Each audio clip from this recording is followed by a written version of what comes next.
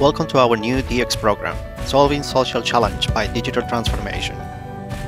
In Module 1, you will learn more about the fascinating Japanese culture, business context, and new digital approaches. In Module 2, you will learn more about how human-centered society in which aimed at creating a society where we can resolve various social challenges by incorporating the innovation of the fourth industrial revolution.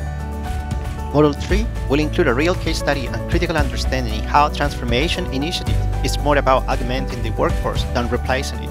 We will also invite a guest speaker to join our lively discussion.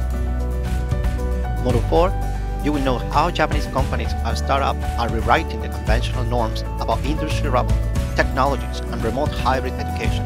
In this module, we will introduce you to a new guest speaker. In Module 5, we will cover the role of digital leadership and how to lead in a fast-changing digital age. Additionally, you will know more about Fukuoka City Hydrogen Energy Initiative and advanced Japanese tech solutions.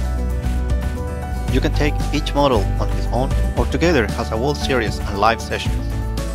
For each topic of this model, you will have access to our Tsunagaru virtual platform, find case studies, join our live sessions, do some activities and quizzes make sure you do your best. It is a good idea to join every live sessions and learn more with our guest speakers. And don't forget to take a look at the list of extra resources at the end of each module.